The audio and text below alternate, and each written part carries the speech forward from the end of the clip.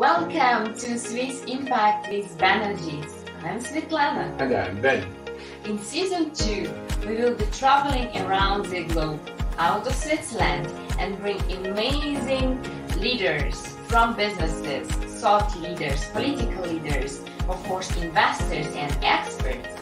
We're working at implementing and realizing all the United Nations Sustainable Development Goals, better known as SDGs. And they are also making profit.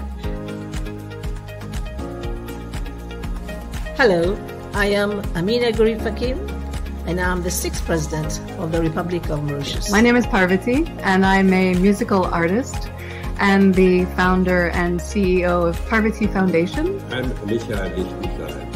I'm an entrepreneur here in Liechtenstein.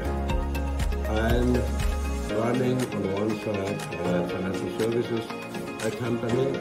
You know, hundreds of deal deals a month. Mm-hmm, we mm-hmm. are seeing more things happening in this impact world, and this is yep. because, look, the world is changing so join us to discover impact investing ecosystem. See you every Friday afternoon at 3 p.m. Central European Time at Swiss Impact with Banerjees. See you on Friday.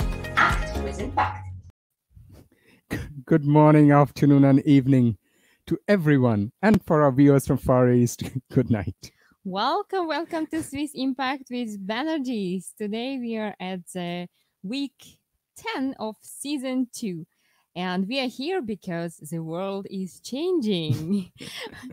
In our show, we interview investors, policymakers, business leader, impactful businesses in order to create impact, to encourage them to create more impact if they're already doing it, or to inspire you, our dear audience, uh, to take in action and change your life and life of many other people for better.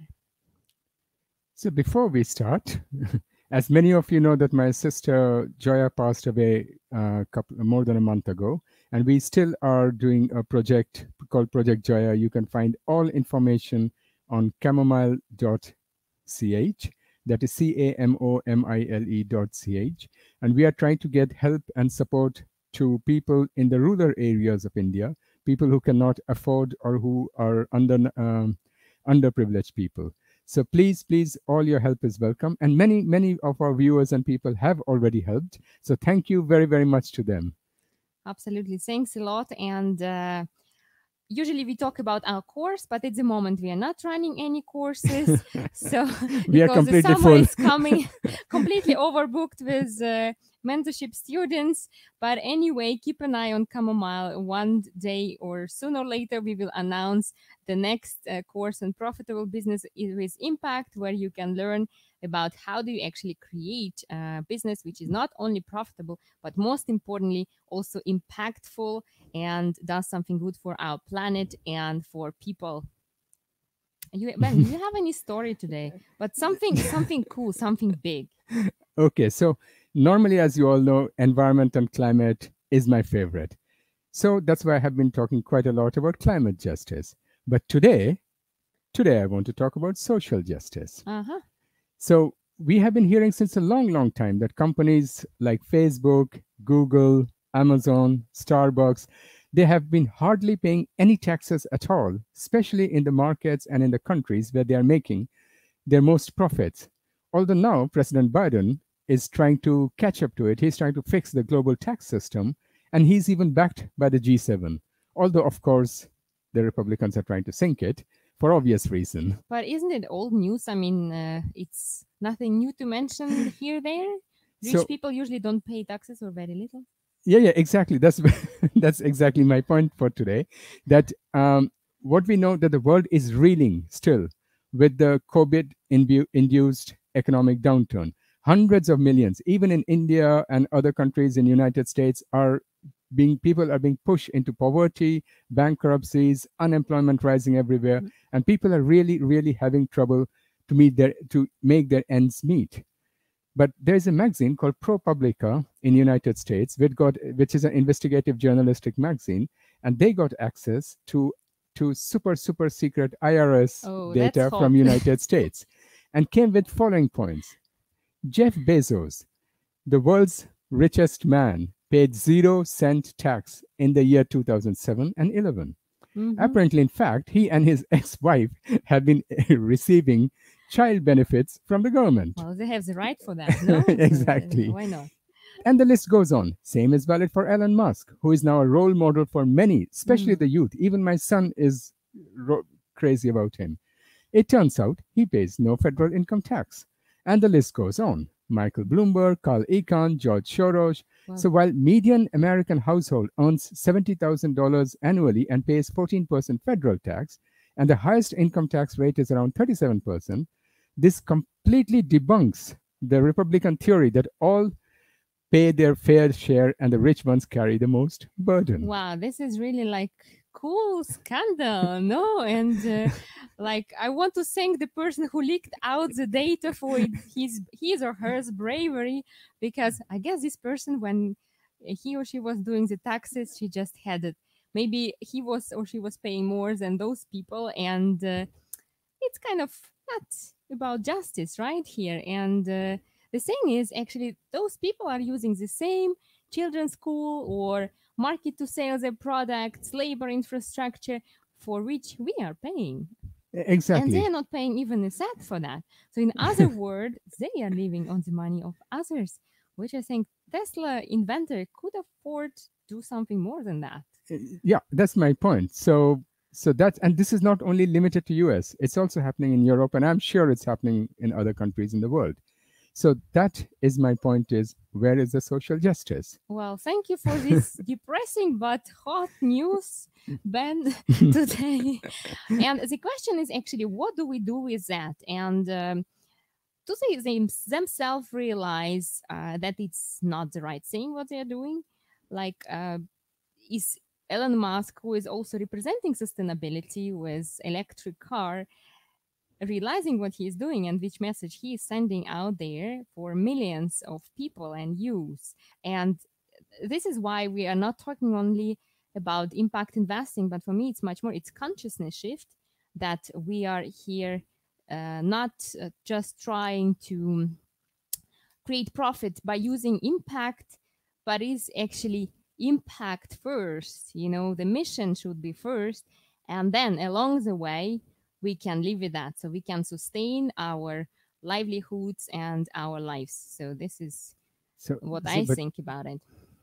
thank you and today i want to since every time i tell the stories today i want before we get our guests in Svetlana, please explain to the audience because I hear everywhere sustainable investment, sustainable investment, sustainable, sustainable products, financial products, but I hardly hear about impact investment. Just in short, can you explain to the our viewers what is in basic difference in a layman's language, the difference Mhm. between impact investment and sustainable investment? Well, impact investing is also belongs to sustainable investing, but not uh, vice versa. So basically, if you look at the market, the sustainable investment market globally is around 31 trillion US dollars. Impact investing is only part of it, 800 billions US dollars.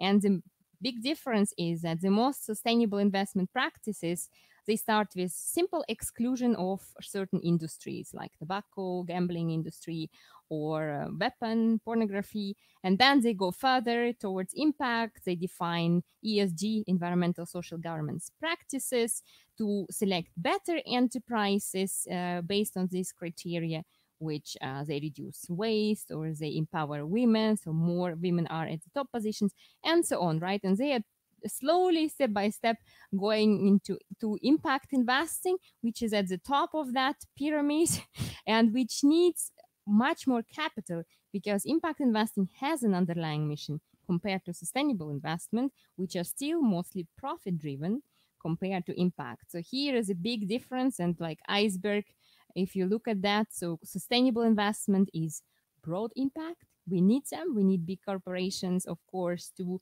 transform and uh, change industry standards but we desperately need more capital into impact investing, which are trying to solve also sustainable development goals defined by United Nations. Okay. now at least I understood what it means. So now we want to invite our guest for today. Welcome, Mika. Welcome, welcome, welcome, Mika Anttonen. Thank you very much. Thank, thank you very much. It's a pleasure. It's a pleasure. It was uh, interesting to hear those uh, tax tax news uh, from United States. Here in Nordics, um, we all pay taxes, and uh, it can be also checked by everyone uh, from the authorities. So our system, at least, is very transparent and very different compared to the, any other other areas of the planet. So in that respect, we can be we can be at least proud of that. E- And this is why you can be so cozy in your chair, right? So because the consciousness is fine, then everything is yeah. fine. Yeah, And, and the best yes. is in America, instead of finding out why this is going wrong, they have started an investigation to find out who leaked out the tax report. Yeah, exactly. That's a that's a good question. That why why they are doing something like that. I guess it's a big big part of the history and uh, and uh, taxes uh, at the beginning of the mankind when the taxes were invented. Most of the cases, tax, taxes were collected by kings or uh, or somebody like that, and uh, and they di- didn't deliver too much back to the people who paid taxes, and that's why the culture to pay taxes is is in most of the areas of the, the planet quite low. But in, in Finland, for example, we have always got quite a lot back while we have paid taxes and the whole social security system, education system, they are all free. So uh, if you compare that, uh, what we are paying taxes, you are getting benefit back straight away, and uh, everybody is getting that. And uh, and I guess that is one reason why uh, Finns and Nordic uh, societies overall they are happy taxpayers because they are getting quite high benefits back. Uh, education in United States, for example, it will cost a lot of Yeah. money, and uh, Exactly. we will get it all for free. Yeah, no, no, I, I had a, I mean, I didn't want to get into this discussion, but I had a very interesting ta- chat today with my son during breakfast because he's studying history and he was talking about Versailles.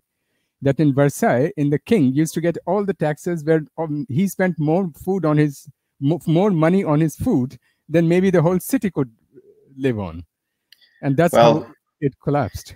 If we will look at the history and look at all those places where we are visiting and watching, wow, what a kind of building here! Who has made it, and uh, how is it possible? And uh, and we we should remember that uh, somebody has collected taxes and build up build up the monument for himself or uh, somebody else, uh, for the queen or lover or whatever. And uh, now we are visiting places and say, oh, fantastic!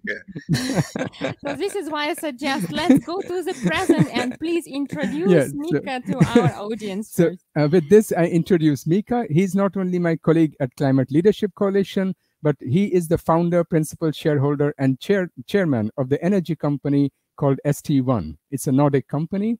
He began his career as a private individual in fuel trade in 96 and built it up to this diverse Nordic energy company, which today pursues its vision to become a leading producer and and seller of CO2 aware energy. So this is like this is like music to our ears. So this company's uh, uh, Mika's company is investing very very heavily into renewable energy research and production, from industrial wind power to advanced biofuels, and of course geothermal because I myself has have visited uh, your off, uh, your factory at Espoo. So with this, we welcome Mika. Thank you very much. Thank you. Yeah, so uh, as Ben mentioned, and uh, before we start, uh, I'd like you to tell also your story, what people don't know about you, or what we didn't say, to make it more interesting. Not just a um, Yeah, hard exactly. How, introduction, how- but how did what you is end your up? story? How did you come in the petroleum sector or in the fossil fuel well sector? well i my i'm very i'm not very good to, to talk about myself so i try to keep it uh, short but uh, it was a coincidence uh, basically i i was studying in university of technology in helsinki energy and uh, one morning uh, uh, i got a call uh, and it was call came from the from the trading trading department of uh, Neste uh, Oil. Neste Oil is a local oil company nowadays, the biggest renewable diesel producer worldwide, and they have noticed that I have done something crazy things in my university studies uh, or same time, and uh, and uh, they like the, the the activity what I have I have done, and they ask, could you come to interview and join us to work? We need persons like you for international trading, and I said, well, why not? And then I ended up to the Neste trading department. At that time, trading business uh, globally, it was a very new thing. We lived that the year uh, 1989, and uh, there were not too many people who were doing the trading overall, and uh, and it was very huge opportunity for young student like myself and uh, I took advantage out of it, and uh, and I I worked very hard at these first uh, five six years. At that time, we didn't have any mobile phones or things like that, so you had to be in the office all the time. And when Singapore started. Uh, very early in the morning, uh, four o'clock a.m., uh, and then the New York finished. Good, New York finished uh, ten o'clock late late evening, it was lucky that uh, my wife at that time uh, she was working also elsewhere so we didn't have too much uh, um, home problems during that that period but really i i learned a lot. I i was capable to do the pieces around the world and uh, and it was a fantastic opportunity. And then i started to see how this world really looked like from energy system uh, perspective. And uh, and it was a very good school to learn the global energy system. And um, in certain point, uh, 96, I decided that, uh, well, I have got all the lessons from this company, but unfortunately, I cannot see that future is in, in corporate. I would like to be entrepreneur. And, uh, and I started to do same things uh, for my own account. And I was very lucky, uh, I have to say. I was uh, young. I couldn't understand all the risk. If if I would have understood them, uh, probably I wouldn't have started. Uh, and and we didn't have, have at that point we didn't have children. Uh, that was big uh, big thing as well. That uh, I I didn't have responsibility to take care of the uh, the family. My wife is much more well educated than I am. She's a doctor and and cancer doctor and doing doing doing, much more, doing much more much more uh, valuable work than I am. But uh, anyway, we I had an opportunity, and I was very lucky at the beginning. Oil price was very low, and I was capable to do the business mm-hmm. between the continents, and uh, and that uh, that was really my core competence. And uh, then um, when the children start to start to come to the picture, I uh, it was a year 2000 something then I started to think that, that, what is the purpose of my life? That it cannot be that I'm uh, buying a cargo from uh, South uh, or uh, Europe and selling that to the South America, or buying cargo from uh, Europe and selling that to the United States. Uh, there has to be something else, and then I got a again good luck. I I sold the trading activities to a company called Enron, US-based company.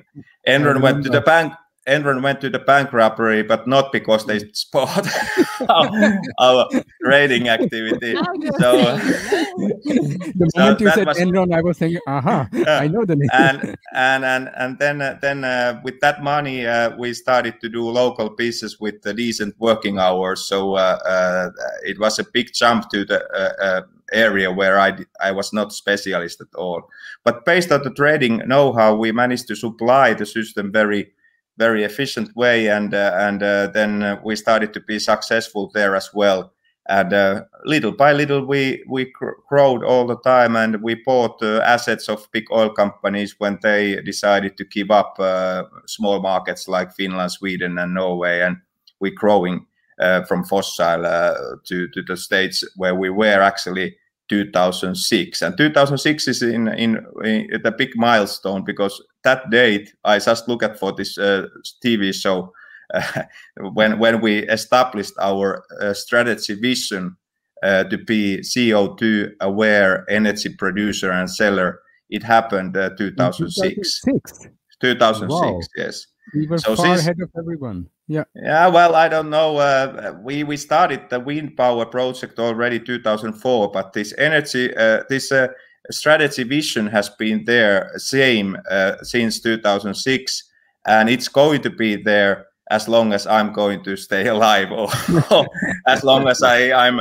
I'm allowed to to to run the board of the ST1. So let, if uh, if I'm losing my sense, uh, maybe they then kick me out. But um, but uh, anyway, as long as I'm uh, I'm a charge, uh, that is going to be our our strategy vision, and we have done work since that very systematically to to go into transformation. And one thing is very yeah. Sorry. Yeah. sorry. Sorry. I'm talking uh, all the time. I know we are here all talkers. You know, we can talk for hours. so it's just explain to our audience why we have you as a chairman of a fossil fuel company, right? Because it's not really impactful in this way, but you know, you are one who is representing the transformation of companies of energy sector and this is why we uh, invited you you know to be to set up new standards in energy sector. So could you please explain to us and tell us more about your activities of your com company in this sector like renewable energies? How do you transform to more sustainable practices? Yeah, uh, it's very important uh, to understand, first of all, that the energy sector is transformation business. And I guess we do uh, we understood this uh, very early stage after 2000 that this energy sector has to be transformed from fossil to renewable. Then, of course, we were a very small company at that time, and I didn't have a balance sheet like uh, Shell or Exxon or anything like that. We were very small. So we had to pick up those areas where we really can do something in real life make investments which are the size of our company. And uh, but anyway, we we have a clear idea that we have to start to walk this path. And in end of the path, uh, we don't know where it leads to in final end, but it goes away from the fossil world. It goes to the renewable world. And we did uh, all these things what company our size can do 2006. And we started with uh, with waste uh, production, waste-based uh, ethanol production. It was very small unit uh, in in in Finland, and we used bakery waste, and we made out of that ethanol.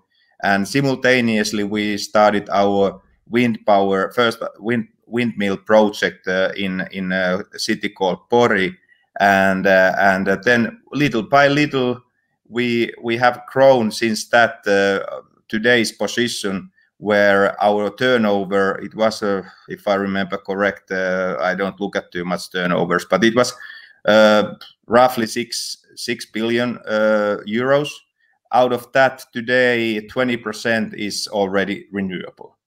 And uh, some somebody might say that 20% uh, it's not much but if you start from the zero and you have done that with your own equity with your own cash flow uh, uh, and uh, and in 15 years time i'm at least um, quite happy about it of course we could have done even more but we did we haven't what had any more resources what would be your aim like the number where you are targeting like this which of course we of course we are targeting to the situation that we don't have uh, any fossil left but uh, when when that could when that could be the case i don't know so mm-hmm. it's not only only our effort which accounts. Mm-hmm. Uh, it's uh, really the regulatory environment. Uh, uh it's uh, totally depending on also how our, our, customers will behave, what kind of uh, products, what kind of cars they are buying.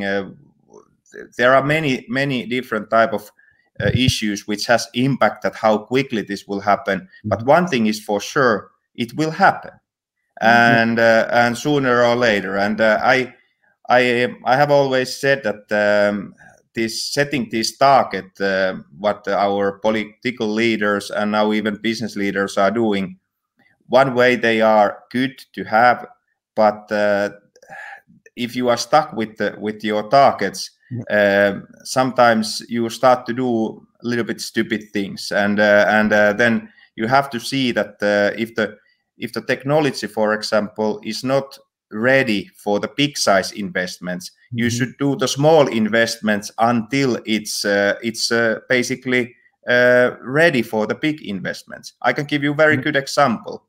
The wind wind energy in Finland 2010 when we had our first big uh, park ready, the the production cost was uh, 58 euros per uh, megawatt hour.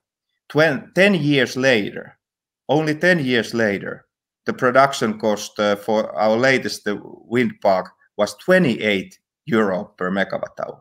So the drop of a production cost in Ah, 10 panels, years time Solar, solar panels are also dramatically decreased in terms of cost for production. So it happens when the industry is changing, when systems are changing, of course. Yeah. And, and that is very important to rem- remember that when we are doing the investment, we do it at the right time, then we are getting the best value for the money. Yeah. And, and if you start to do it too early, then you are spending a lot of money, but you are not getting that much result.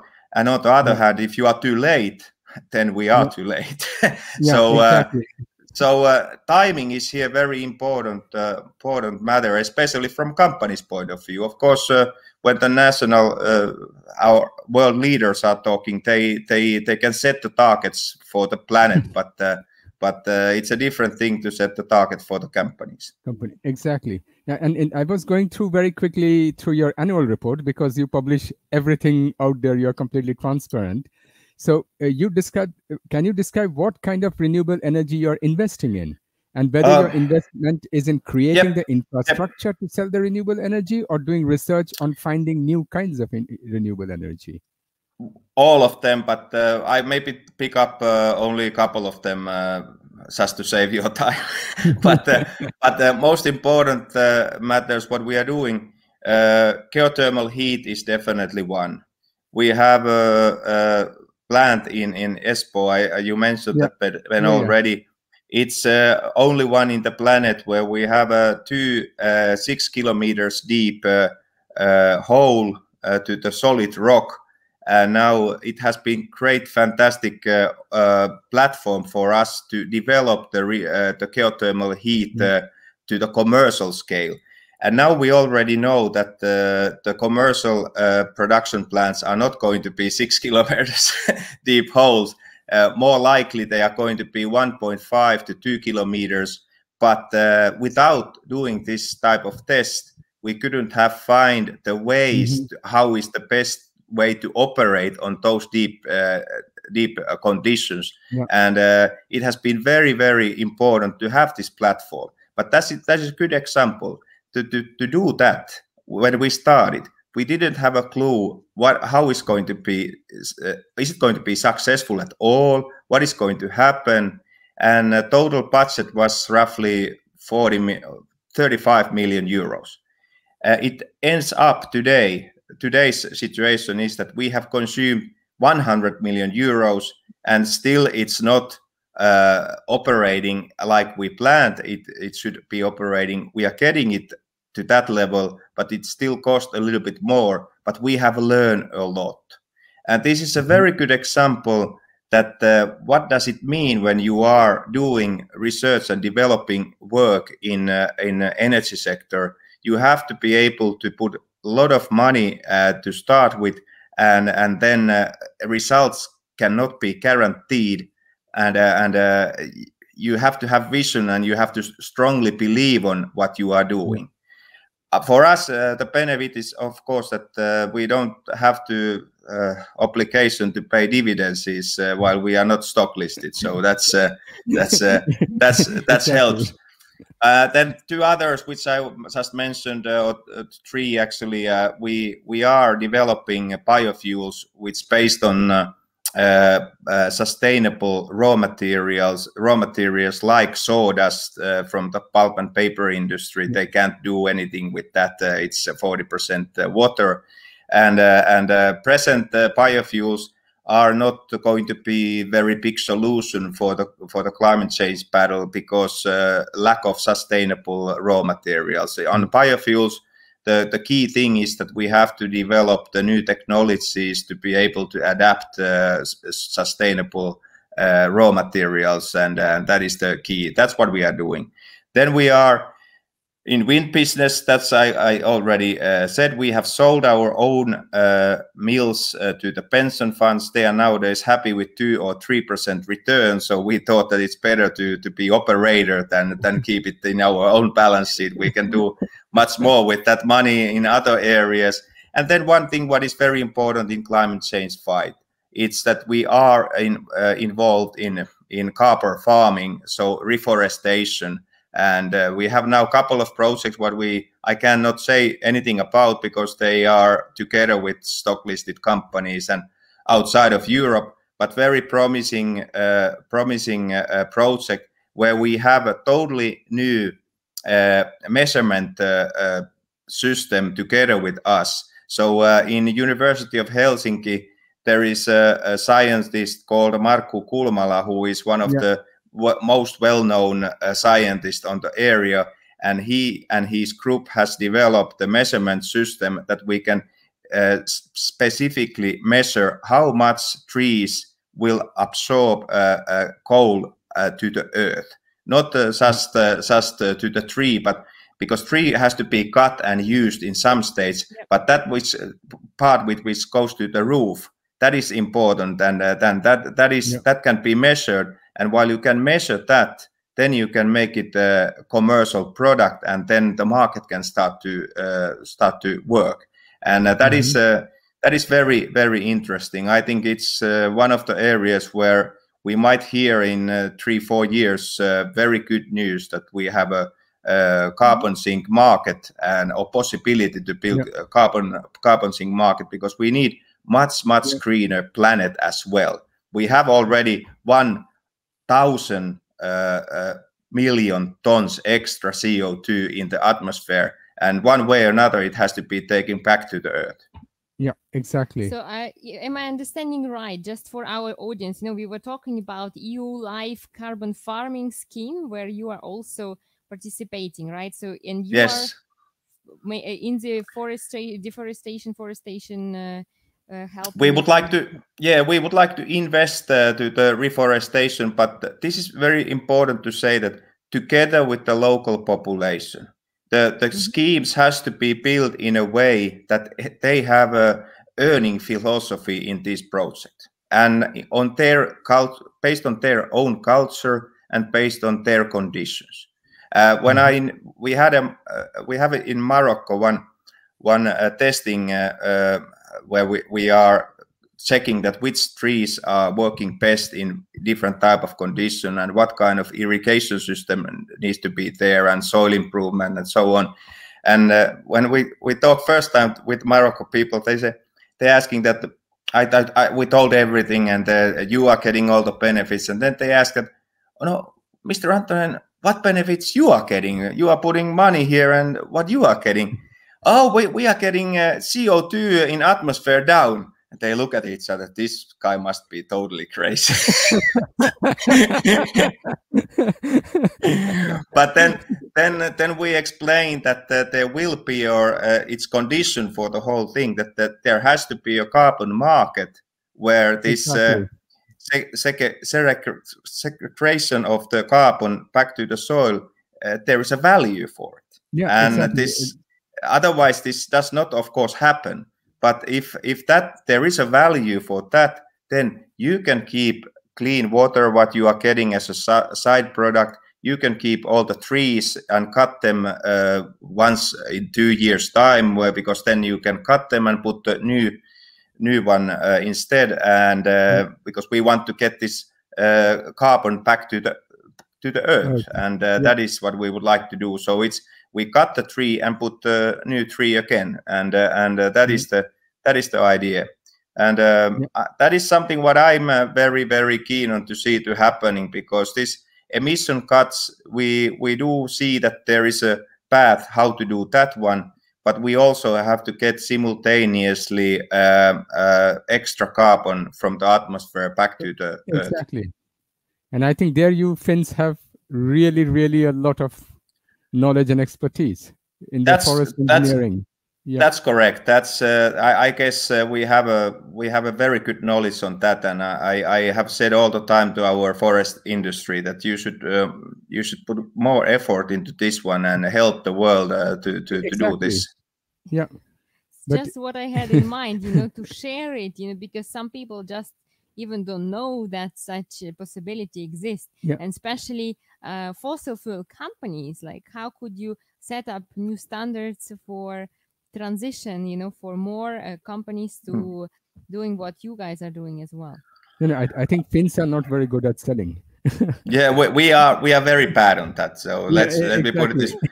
But but uh, luckily, uh, I don't want to advertise any company here. Uh, but uh, I think um, company called Shell, everybody knows, and it, uh, they have been now a little bit uh, in the court as well. I have heard uh, uh, what comes to the emission. They have uh, seriously put a lot of effort and money uh, to this kind of reforestation programs, but they are not.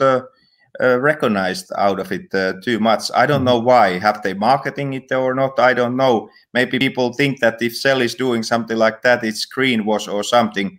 But Yeah. I, I think they are they are very serious and uh, they they really um, I can I can see that inside that they really would like to be successful in this field as well. They Mm. called it natural based solutions. And the idea Yeah. what they, Yeah. they what they do have is pretty much similar than ours that uh, we we realize that the fossil fuels we don't get rid of them in one day. Uh, there are Mhm. still uh, even whatever we do, the oil is going to be there for a certain number of years. Uh, I don't know how many, but anyway, it's going to stay there. So we could. Uh, I have asked from our politicians that please regulate us. That in case I'm selling a one liter of gasoline, I have to put uh, this many trees t- to somewhere and Yeah. somebody somebody then markku kulmala and his scientists they will measure that what i have done is according to the rules Yeah. so uh, that is basically a very simple thing and um, but That's so cool. Please regulate us. But I think if you need to beg for politicians to regulate you, there is something wrong. So how can uh, And, and, and, and what yeah. I also worry about is that there's so much knowledge about how to manage the forestry with Finland, but it's if you look at EU, I can only speak from EU. A lot of policies or decisions are being made because they don't have that knowledge. So the Mm. decisions also are not really very uh, correct. But that's another discussion. I just that's wanted to another discussion yeah. Exactly, and that will take a whole evening and a lot of bottles of wine. should I bring some? I- do I- it a bit longer today. no, but I also wanted. So you are an energy company, but most of the energy companies, like we know Shell and ExxonMobil, they have sustainability as a part of their CSR, their corporate Mm. uh, social responsibility. But Yeah. you have it as a core of your company policy. So how did were you always from the starting like this, or or did you evolve or transform into this? No, I, I, I no, I, I, I didn't have it in the in the in, there as a starting point. Uh, I was very normal young uh, student when I joined Neste Trading, and uh, I then learned to do my job. But in some point when I had that opportunity to see that how this world really works, and then Mhm. when I got a children of my own, and uh, I can't I, I can't say the exact day when I got an idea that we have to do things differently. So this cannot this cannot go anymore like this. That we just uh, just uh, do the normal stuff and uh, sell oil and uh, wait that uh, how long it will last, and uh, it, it cannot go like that. I can't I can't tell you the date when it happened. It was a maybe two years, three years uh, thinking process, and then one day we had a our company management seminar, and we decided that we we have to go into that direction that we will uh, live in line with this planet uh, with the Mother Earth, and uh, and uh, how can we do that? Because we are selling gasoline and diesel.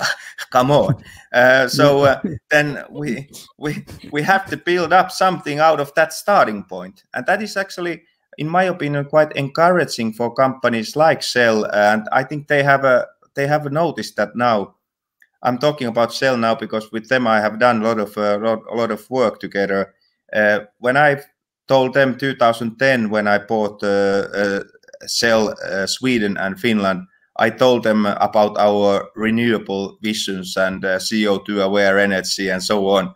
And they were a couple of guys in, in London, they said that interesting uh, but but uh, the tone has tone has totally yep. changed tone yep. has totally changed they have changed they are yep. not anymore same company so I, I trust very much that uh, that the people maybe public uh, they don't know or they don't recognize it or maybe they don't believe on it but Shell made a couple of years ago um, promise uh, that uh, they they release press release i guess it was it was press release where they were saying that they are going to be to 2030 uh, world biggest uh, renewable electricity producer that's a hell of a promise uh, if they will keep that promise uh, I, I can guarantee you that none of the uh, other promises in this planet are not even even close to that yeah. that that promise so that, that's a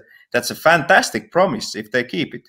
And uh, mm-hmm. and uh, and when we look at the other energy companies, there are many others who has uh, taken this very very seriously. They are on the right path, but there are of course companies who hasn't done anything, and I don't yeah. want to start to point it out yeah. who who are the bad guys and who are the good bad guys. Oh, I, I no. guess yeah, I guess audience can read uh, the newspaper by themselves. Yeah, exactly. So, uh, so you, I don't. I can talk have, about the positive things. Yeah, exactly. No, no, you must have heard the what Mark Carney said. I think last week or two weeks ago, when when he spoke. You know, Mark Carney, the former yes, governor. Yes. When yes. he mentioned that all the companies who are aligned with the Paris Agreement or who are thinking about CO2, they will not only have more value for their shareholders, they will also have better uh, business, more profit, and better for the community. And companies who are not doing it, they are going to end up with a massive amount of stranded assets. I think uh, in big picture he is very right. I fully agree. And uh, but again, devil is in details. Uh, yeah. while while while you are saying that, you have to remember that transfer transformation has to be done uh, inside the company. Yeah. And and uh, when you are releasing and closing down your fossil assets and building up the new ones, you have to look at that uh, how the environment will develop. If you don't mm -hmm. have any any uh, like electricity cars are something what uh, what what is very different uh, states in different countries. We are operating in Norway, Sweden, and Finland Norway, uh, there are huge amount. I, I, think yeah. its density of electricity cars is the highest on the planet. It's number one. It's number yes, one. Yes, number world. one. Yeah. It's totally different to operate there compared to operate in Finland or Sweden, and yeah. and uh, then then you have to take into account uh, uh the business environment and how the people are uh, behaving and and what kind of rules and regulations are coming by by politicians that is uh, that is uh, company cannot just decide that okay we just now got rid of the, all fossil and and we do yeah. something else if there is no demand so exactly. uh, so that is uh, companies uh, definitely should uh, look at the the the future like mark said but but keeping in mind that while you are saying something or justifying, justifying companies are they doing right or wrong you have to look at also the uh, the business environment and mm-hmm. regulatory environment what really they can do and what they cannot do exactly mm -hmm. but i think you have one very big advantage you don't have shareholders jumping up and down your neck that is that is a, especially nobody is complaining about too low dividends so. Because because we have a very very simple policy. I want to keep the company alive because uh, it's also sustainable that uh, your business is uh, going to be successful. That's very important. There mm. are a thousand people working for our company and uh, i can't let them down I can't do stupid things in, in a way that they are losing their jobs. But uh, what I can control is that the part with uh, what normal companies, stock listed companies would pay as a dividends, that money we can, the money what our employees has done from the market, that money we can use to develop renewable energy solutions. Yeah. And that's what we have done. Exactly. I see. I yeah. understand, Mika. But you are also investor as person and also, of course, as ST1. Can you share with us and with our audience what kind of investment selection criteria are you applying as person as and as ST1 if it's any different? Because we have a lot of amazing projects who are looking for money, of course. So maybe there is someone who will be. Uh, and, uh, I mean, in re renewable energy and things yes, like that. Exactly. Uh, it's very uh, good question and simple to to uh, to answer as well. ST1 is only investing to the business project, so uh, they they don't put money to the project where uh, which which is not done based on business logic. But then uh, Mr. Anttonen can do other things because uh, he is individual and uh, and I I have done um, uh, many things, but but I don't want to advertise them because I'm have, having already today too many emails where people are asking support for for a very good project. But uh, but uh, of course uh, every one of us uh, has limited resources uh, limit is coming uh, to everyone and i i try to support as much as i can but uh, of course i'm not uh, that type of guy what you were talking at the beginning of the show. I'm not uh, Elon Musk or any of those guys. Uh, I'm I'm a small guy from Finland, so uh, my my you are paying your taxes, so in conscious development. Yeah, yeah. I pay the taxes. That's one reason why I don't have so much money to spend uh, to the other purposes because I pay the taxes. exactly. So so now we leave behind ST1 and now we come to Mika. Yeah. So, um, no, but uh, let me please uh, add one more thing. So, for all those who cannot approach Mr. Anttonen as an investor, please come to camomile.ch, register there, and we will invite Mr. Anttonen anyway as a member. So maybe one day or another day you will be uh, lucky and he will find the right you will project. get his attention. Exactly. so so I wanted to ask about is that uh, because I have also been involved in the sector of uh, alternative energy since quite a long time, and all, every time we begin with a positive intention. So I remember in Netherlands we were extremely enthusiastic about bioenergy. Soya is uh, we use soybean for biodiesel, and we invested in it. We advertised it. We spoke about it everywhere. But now it turns out that this soya production is damaging the rainforest in Indonesia, in the Amazon, everywhere. So these, so we have this in the name of green investment and green policies, we are making decisions which are very good, which looks very attractive, but on long term, it is doing damages we did not think it will do. So I know that you have also thought on this topic very, very much. Can you also give some more examples, like uh, where we thought that this was very good idea, we acted on it, and then we turned out it was not so green and not so good for the environment after all yeah i my experience uh, really the own experience is coming from the biofuels mainly and uh, and uh, that's uh, when when we started in uh, in uh, 2006 with the waste based ethanol production i I was a great believer that uh, biofuels could play very big role in our uh, transition uh, from uh, fossil to renewable. But then when we got more information and uh, and uh, we discussed more with different type of stakeholders, we started to realize that oops, these raw materials they are quite limited what comes to the sustainability, and and then then we we turned our direction to go into to the direction where we can maybe find more sustainable uh, raw materials. But right now, our ambition this is very good example this biofuel that when ambition uh, level is uh, set uh, by uh, information what we had 10 15 years ago and now we are executing that and new information has come up and and uh, it's when we set the biofuel target for EU, for example, we had an idea that uh, we can easily produce that much uh, biofuels what uh, EU re will request based on this mandate.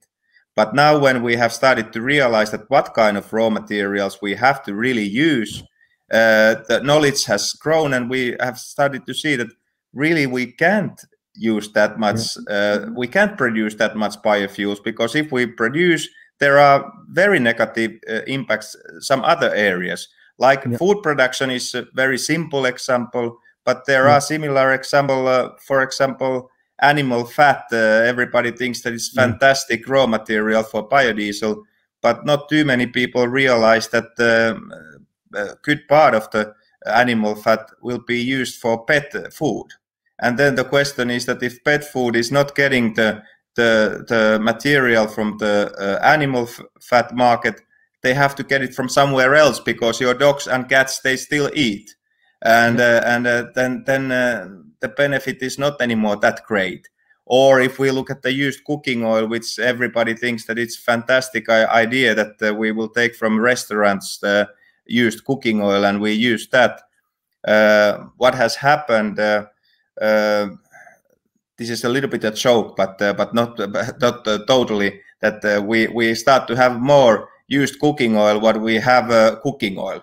So uh, if you understand what what I mean, that uh, because uh, value in the in the diesel production is so high that if you put one French fries to the cooking oil and then you said it's used cooking oil, then uh, it's okay for the for the diesel production. And. Uh, that will lead again to the uh, end result where we use the land uh, or uh, food production basically to, to be able to make uh, biofuels. And that is not sustainable. Raw materials has to come from elsewhere. And uh, and then these logistical examples that uh, come on we we have uh, checked all our uh, supply chains where the product is coming uh, we respect their human rights and things like that.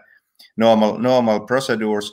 And uh, on those checking uh, it's quite uh, quite interesting cases while while we look at the used cooking oil from from China for example it will start from the restaurants with 10 liters cannons and uh, then it goes to the next station and next station and uh, uh, the the cooking oil moves uh, through the country and end up to the to the uh, to the port where the seagoing vessel will take the the, the whole cargo uh, into Europe, and then um, one of the diesel producer here then make diesel out of that used Chinese cooking oil. If you calculate CO2 correctly, you can um, easily understand that it it's, doesn't really uh, save the world at all. And if it, it's good thing, and it is good thing to use that used cooking oil, definitely it should be used in China. Why? Why the hell we are taking that uh, up to the Europe uh, uh, and produce its uh, uh, city diesel? Answer is very simple, because in Nordics, for example, we have a highest bio mandate, so we are paying highest price. So uh, that's why uh, we collect all these raw materials from China, we ship it into the Europe, we make out of the city diesel and we uh, biodiesel, and we tell the, the, the audience that now we have done good, good climate uh, act.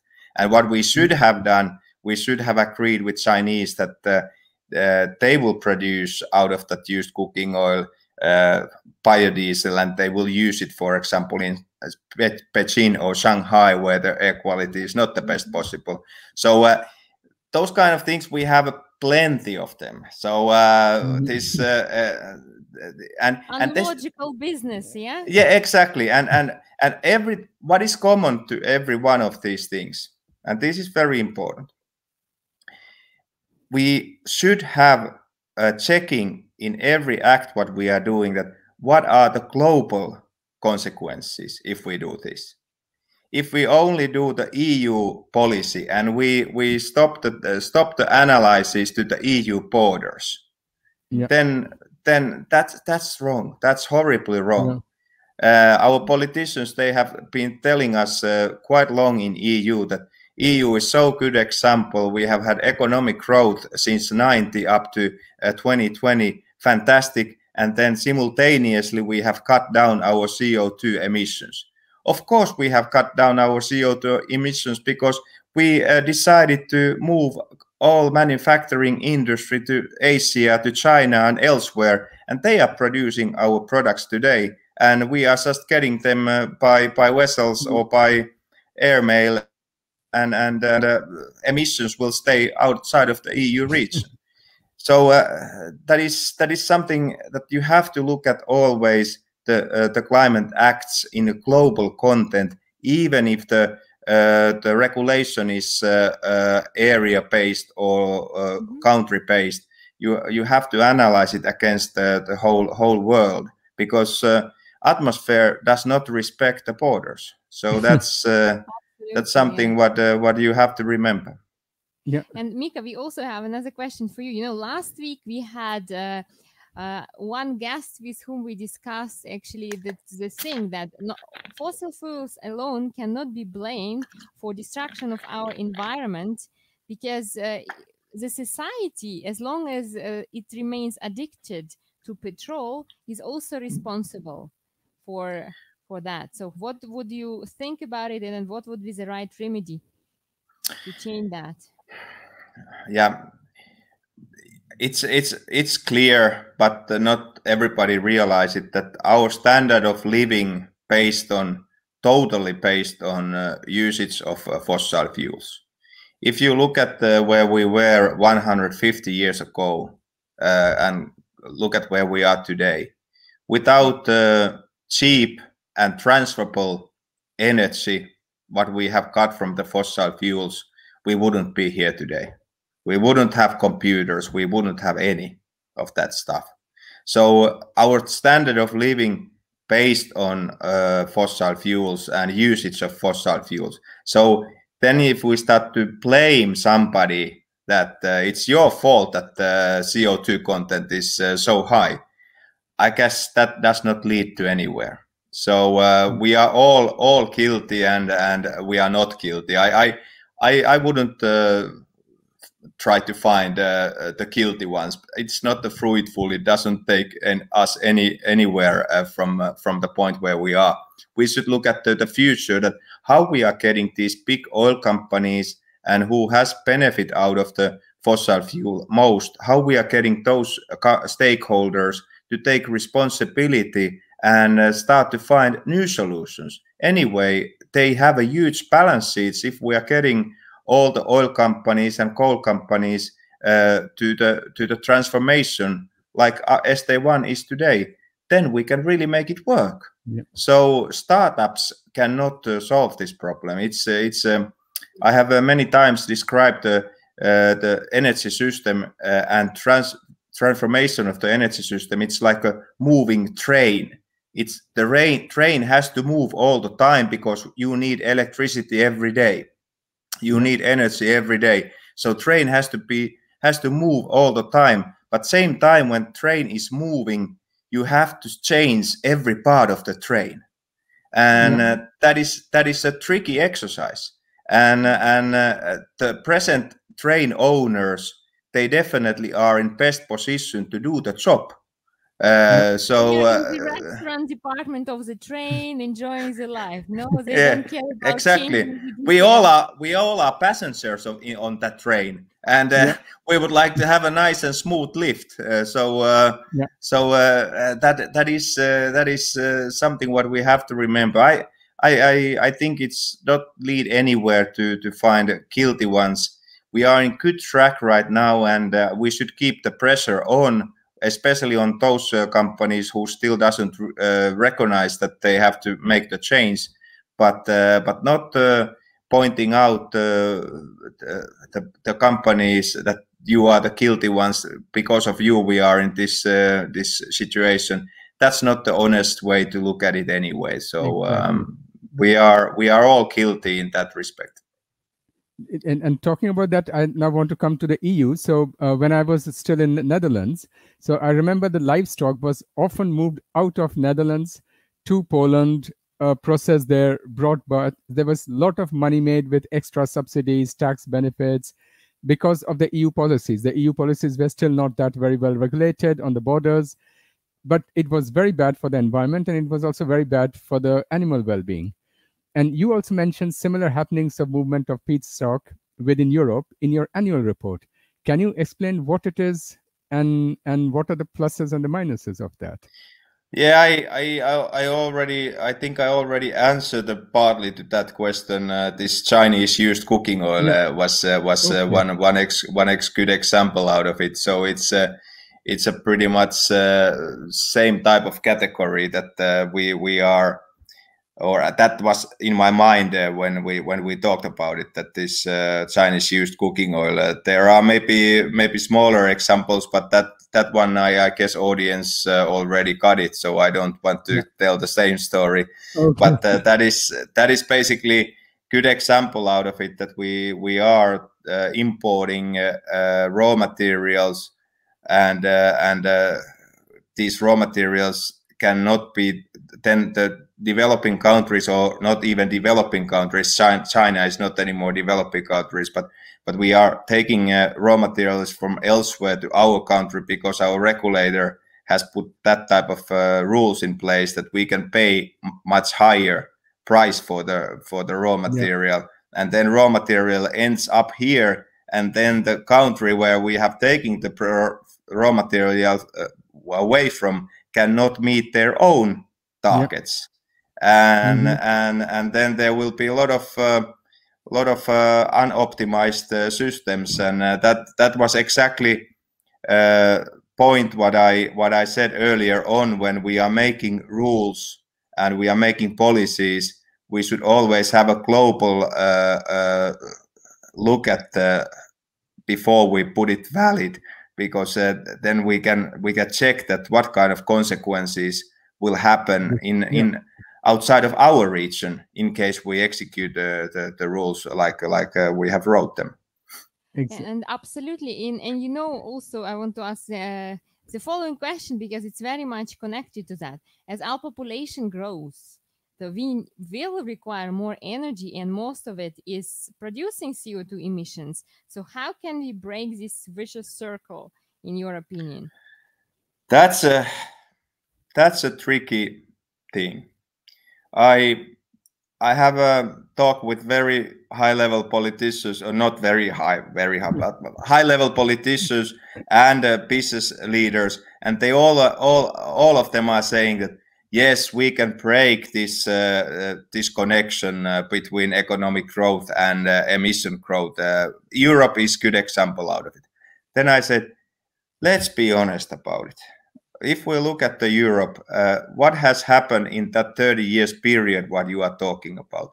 How much mm. uh, factories we have moved from uh, Europe to China and to third uh, countries, and that is the reason why our emissions has gone down. The products mm -hmm. what we are using is not anymore produced in Europe, and uh, and they are produced. Uh, China globalization is the word what we are talking about here. Globalization what comes to Europe, it means it means that uh, we have moved uh, most of our manufacturing work to elsewhere, and then emissions can be measured there, but we don't take those into account. So mm -hmm. I hope, I really hope that we will find the technologies and we will find uh, uh, systems in a way that uh, we can have a simultaneously economic growth and uh, cut off emissions. But I don't, I can't say that it's possible before I see that it's really can happen. So far, it has not happened. If we look at this uh, growth, uh, what we are going to see uh, after pandemic, we have already some indications from IEA, uh, International uh, Energy Agency. Uh, we have we are going to have a record high uh, growth on emissions, uh, CO2 emissions, because we have record high economic growth. Yeah. And, and, and that is still that connection exists and we have to work very hard to break that connection and i wouldn't give that kind of promise that it's easy or it can be just just execute them because we we we don't really have uh, yet solutions for that the mm. the the population growth what you mentioned it's a, it's a huge element on this uh, this uh, game as well and especially if you take into account that simultaneous when the population will grow also standard of living will grow mm. and, and and of course it should grow because we have according to un we have almost 5 billion people on this planet who are living less than 8 euros per day. They don't mm-hmm. even know what CO2 is. And uh, and uh, really, I, and I, it's not their fault. It's not their fault. It's not their fault. So they want to have a better life, and that will generate with the, their infrastructure. Uh, it will generate more emissions. That's that's the fact. So uh, IEA's uh, um, uh, leader uh, I can't remember his name, but uh, sorry about it. But uh, mm. but uh, he he said a couple of weeks ago when the IEA released their latest report, what's what was the so-called emergency uh, path uh, to to yeah. meet 1.5 degree target. Yeah. In final speech of his, he said that um, we have to understand, especially among the de developing countries that people, uh, planet, in, countries on this planet will start this climate change uh, acts uh, from very different starting points. And if we rich countries, if we don't have solidarity mm-hmm. towards mm-hmm. Uh, poor countries, this is mission impossible. And I, I, guess he didn't say exactly these words because uh, in his position he can't say that it's um, mission impossible.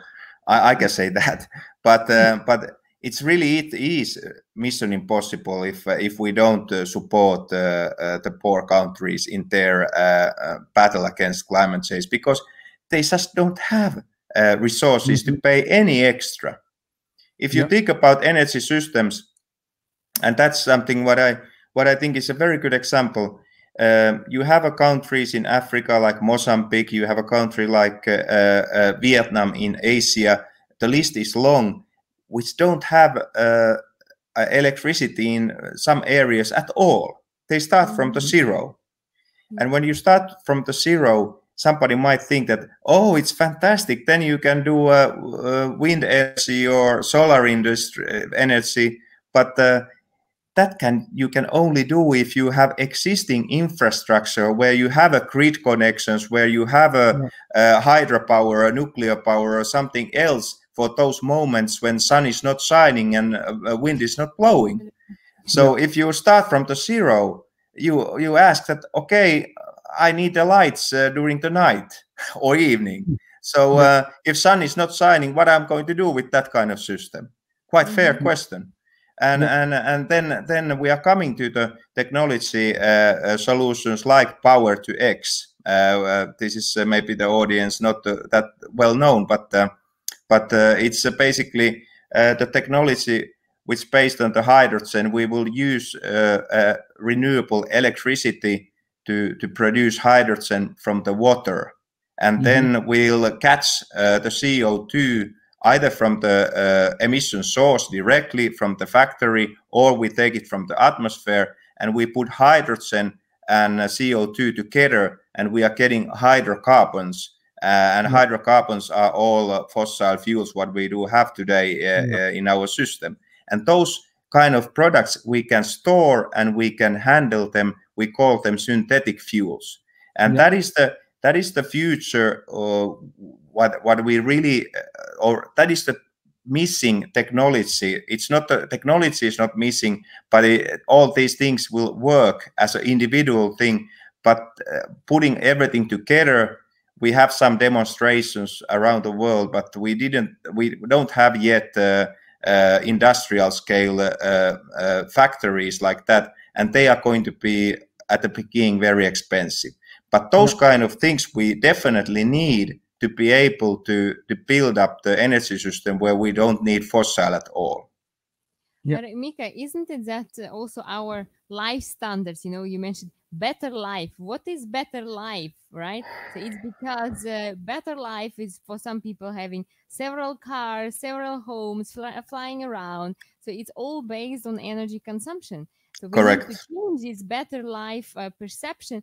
What is better life? Maybe being more with a family having one house but uh, living in more in the nature you know? So this i think also must somehow change before we this, can you are you are you are you are absolutely right. You're absolutely right. So uh, uh, uh because it's quite clear that uh, these 5 billion people who are living less than 8 euro per day they have to have they have all rights to improve their uh, standard of living.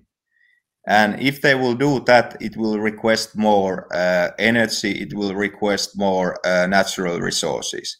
So then, us, if we look at our people who are living in Western uh, Western countries, I cannot talk too much about this because I'm in privileged uh, position by myself. Uh, but uh, but but we we should be happy with the present standard of living. I guess it's not really something too much to ask, really. If uh, we say that, why don't we just be happy with the present standard of living? Mm-hmm. Maybe mm-hmm. even a little bit less. Some people could have much more less, but uh, yeah. but uh, but that that is that is uh, thinking.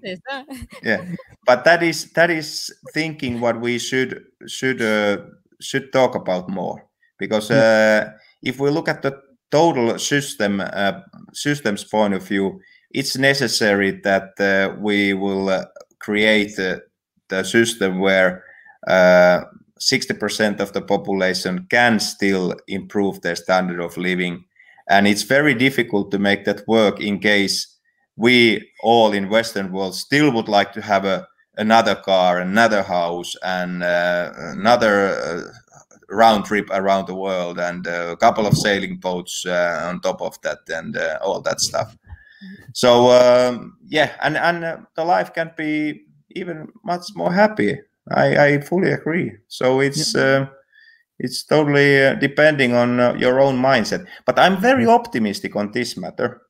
I think uh, next generation, uh, our yeah. children, they already think differently. Yeah, they already think true. differently, and and we we have to give us time. The human is that type of uh, animal that the Homo sapiens that we would like to see everything happened during our lifetime. And uh, if we if we if we look at the history and we look at the the future um, from the history, we can learn a lot of things. Uh, many things, big changes, good changes, uh, has taken some time and um, and I think we have enough knowledge and intelligence in in this uh, world that uh, our children and their children uh, they find a way to live better in balance with Mother Nature than than what we mm-hmm. we have done, and uh, in, and and and that respect, I'm optimistic. I'm optimistic about it, but of course we could could do uh, our share and speed up the process yeah. to get rid of uh, unsustainable uh, lifestyle and uh, and move to move to the renewable world. But I have to say that I'm not the perfect role model by myself either. I I travel, I eat uh, meat.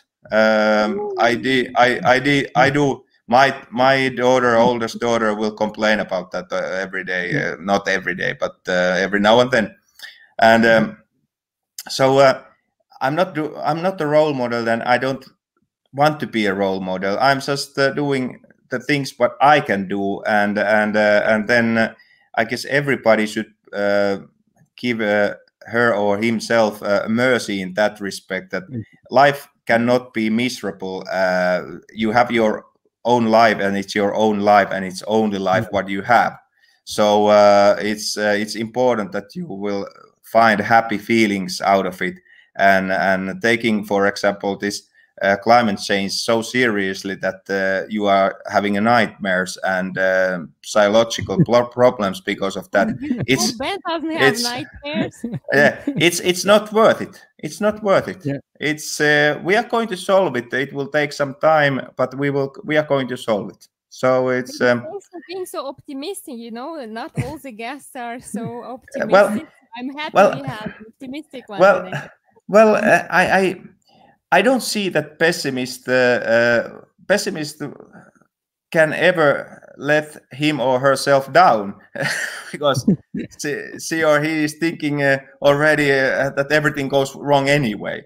But uh, optimist, optimistic people, they can make the change to happen because mm -hmm. you have to have hope without hope you don't have action and yeah. and and even if the hope is small percentage uh, we still have hope, and uh, and uh, I'm a great believer that uh, we can make this change happen. I'm not worried about the technology at all. I think uh, what what is what comes to technology, we will find a solution.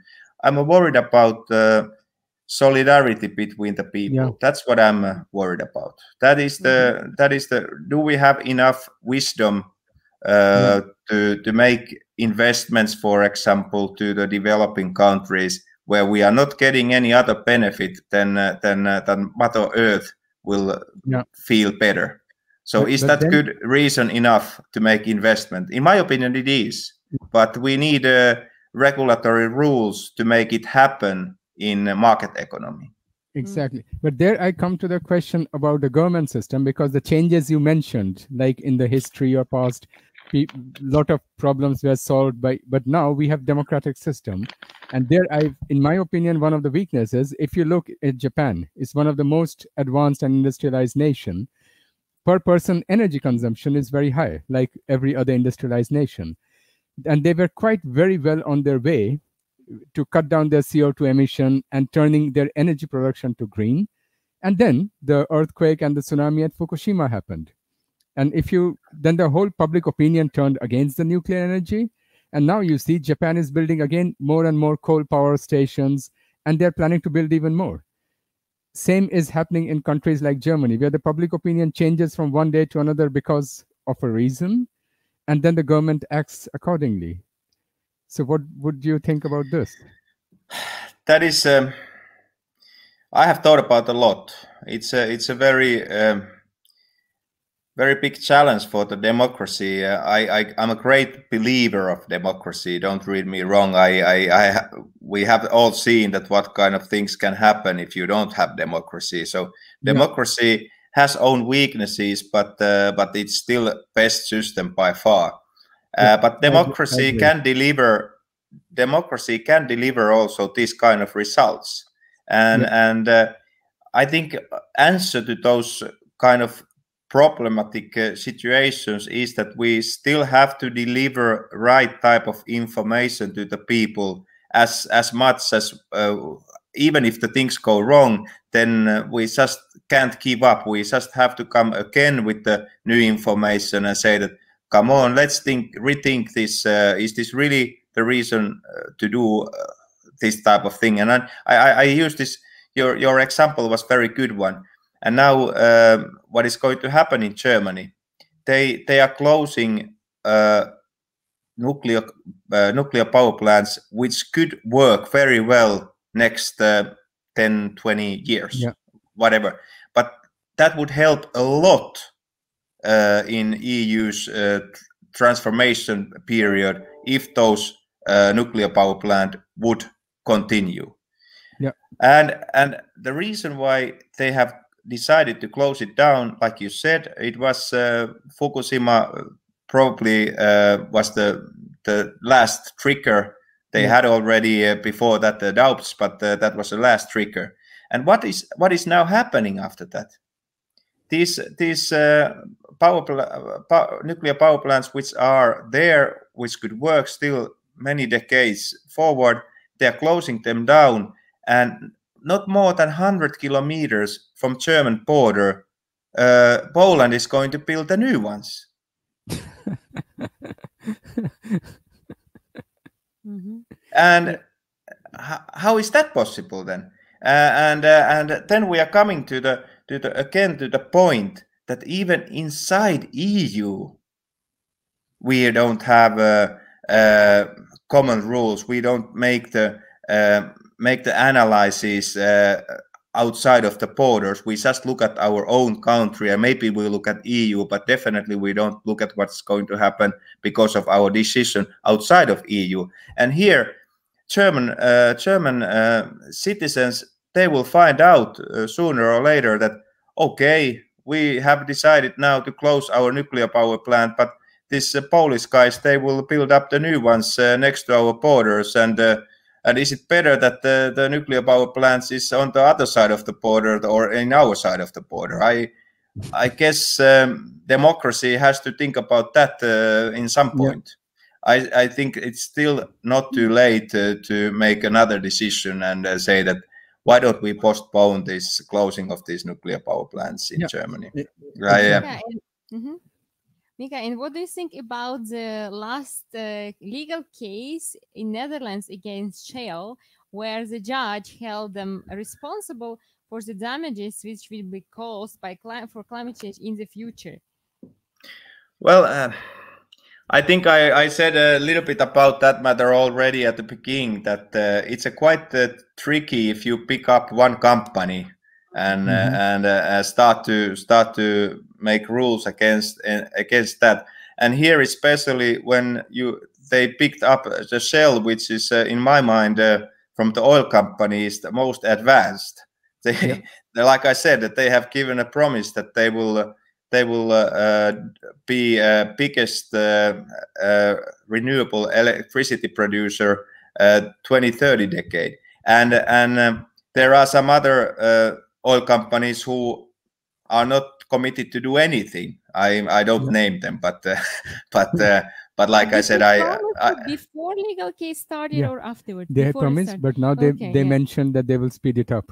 Okay. yeah now they Yeah. speed it up and and in in one way these kind of uh, legal cases they can be useful that they will send send a strong signal Mhm. what is the expectation of the population and expectations of uh, democracy Yeah. but it's very dangerous in case uh, you will really go to the after one company only uh, i think the court should have gone after all companies who are in Yeah. in same industry and and and and not uh, picking up the one company and especially this time it went totally wrong because they pick up the wrong company so so so but uh, but as a, as a policy I, I i i i don't like this type of um, uh, idea that we maybe also. yeah i i i think uh. I, I know that they are trying to do uh, ultimate best on this field, and in that respect, uh, if if uh, you speed up uh, their uh, emission, taking emission down too quickly, what will happen then? Uh, their cash flow from the business, what somebody is doing anyway, will go down, and their capability to make these new investments will suffer quite substantially. That's uh, if I look at my business, some some people have said to me uh, during our our uh, voice that Mika, you have a CO2 aware energy producer and seller uh, vision. Why don't you stop selling gasoline and diesel today? You can you can do that. I said, well, I can do that, but then I don't have a healthy cash flow, and where where I'm going to get all the money uh, to to execute this uh, renewable energy uh, R and D uh, project and investments? Uh, where the money is coming from? and that is important to understand that it's these big oil companies and big fossil energy companies they have a huge balance sheet and regulators should make sure that the balance sheet is used to make this transformation possible Mhm. And and one, one more topic which has been very interesting in this sector uh, because uh, you know I'm also with the Rockefeller brothers, and they started initiating this uh, disinvestment. So there's a kind of activism investors. Uh, you don't have problems with that, but companies which have a lot of shareholders have problems with that. For example, you must have heard that in ExxonMobil uh, last month, I think two weeks ago or last week, they fired two of the directors. They were ousted by the shareholders. So there's this kind of disinvestment movement also going around in the world where the shareholders are withdrawing money from fossil fuel companies. Even here in Zug, uh, companies like, uh, what's the name? Glencore? Glencore and everybody is having problem because they're losing shareholder uh, shareholders who are disinvesting. What do you think about that? Well, uh, investors they they have all right to do so. Uh, so I I, I guess uh, they they are they are having probably different reasons. Uh, some of them are there for ideal reasons. Some some of them are there for monetary reasons. Whatever reasons are, but they have total right to do whatever they wish uh, as as long because they are shareholders. That's their their uh, their role that they can force the company to do according to their will. But uh, again, here I would like to demonstrate that uh, uh, if you are collecting uh, so-called points by being uh, being uh, publicly uh, allowed and uh, and uh, forcing some somebody to do something. Uh, for example, board members in in Exxon. That is a good example. There were, by the way, Finnish uh, lady was selected uh, to the Exxon board, and it was a big news here in Finland. She has done career earlier in Neste Oil um, on biodiesel side, and um, you can do such a kind of actions but in final end uh, this board they still have to make decisions in a way that the company is profitable. Uh, that's according to law as well that the stock listed company uh, directors has to make uh, such decisions that the company is profitable and and uh, idealist type of approach is one approach but still you have to have a common sense and business sense on those proposals that the company can deli really deliver after those decisions positive cash flow. That's um, that's necessary to make the transformation to happen. fiduciary duty of course of uh, the board to deliver also to investors it's absolutely correct. Yeah. Uh, mika we are running out of time. A very okay. one challenging question. It's challenging, but uh, let me ask it, and please be short in your answer. So it's about Norway being a very good example, uh, like moving to into green energy, you know, and cutting down CO2 emissions, but still. Uh, Norway is supplying other countries with fossil fu fuels in the world, and this is like exploding, uh, exporting uh, CO2 emissions to other countries, right? Right. China is doing supplying Africa and Asia with their coal power stations. So what would you say to that? Well, uh, they are they are a little bit different stories. Both uh, uh, we need a short Norway and no, no, Norway and China. I'm I'm very short. I I, I think uh, even if Norway will stop uh, uh, the oil and the gas production, uh, still Saudi Arabia and Russian will supply double times that. so it doesn't really solve anything.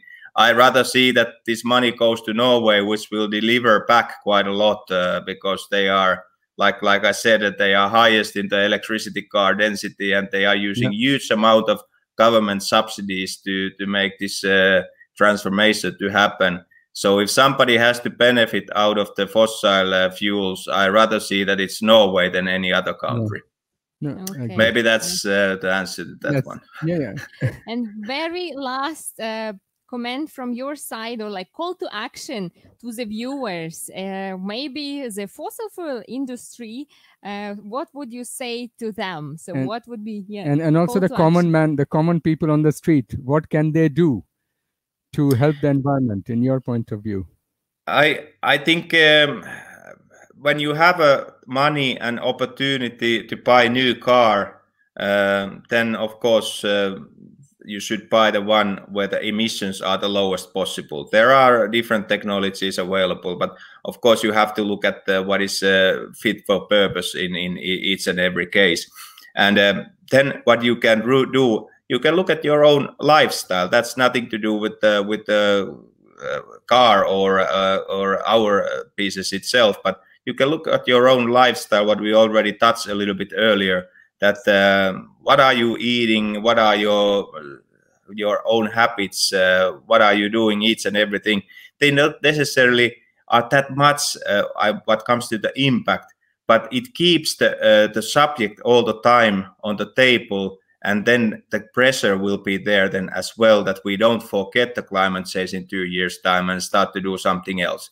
So that hype what we have today uh, it's very important that every customer will uh, do their own share that hype does not uh, be as a hype but it will continue like a process uh, uh, and we will go into the direction of a renewable energy system and sustainable world Thank you Thank very, you very, very much. much. I think after this interview, because Mika had invited us to his uh, place in Finland, but after this interview, he is not going to invite us.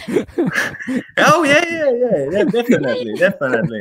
Why not? Uh, you you didn't ask. Uh, I I I I have uh, joined your interview. It's it has been very very interesting, and uh, hopefully the the the audience as well. Uh, that's always uh, difficult to say if they have uh, enjoyed at all. But uh, but but uh, at least I have had a good time, and thank you very much. Uh, it was a great opportunity to discuss about these important matters, and Yeah. hopefully this is also taking us one one small step closer to the to the direction that we have a impact uh, like uh, like uh, we wish uh, and uh, renewable world and sustainable world is uh, Yeah. one one step closer Exactly. Thank you, Mika. Thank yes. you Thank very, you. very very much. much for joining us. and very nice summer and hopefully uh, you all are getting vaccinating soon and we can meet Yeah. physically as well that would Thank be you. fantastic.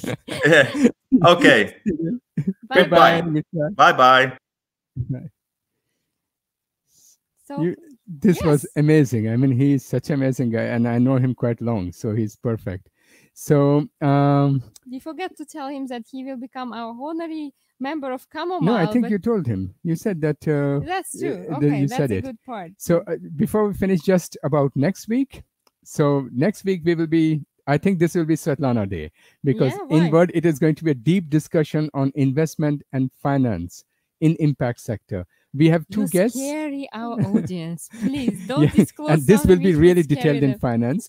And our guests will again be from our friends from Finland, but one of them is living in Dubai. So it is Petri Kusisto. He's a CIO of two of the largest Finnish pension funds and uh, one of the Middle Eastern sovereign families or sovereign family fund. And he has written many articles on impact investment and has coined the term called sustainable portfolio theory. It's an extension to the modern portfolio theory and current strategic asset allocation thinking.